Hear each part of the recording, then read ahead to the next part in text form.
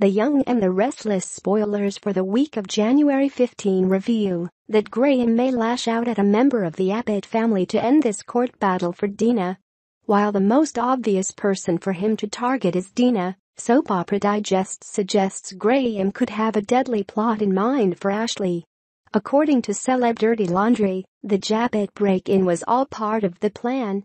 Young and the Restless spoilers state that Graham needed the right compounds so he could poison Ashley.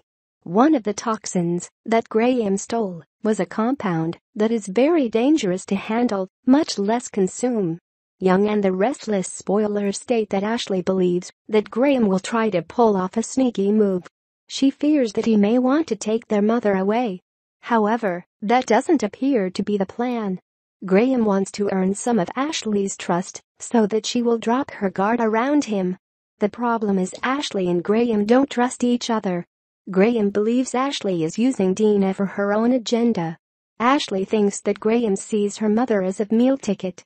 They try to have an honest chat when Graham offers Ashley a drink.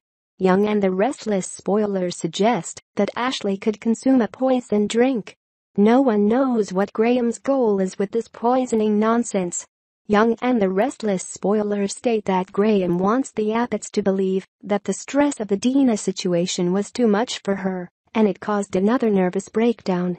Many of the symptoms of poisoning match a nervous breakdown.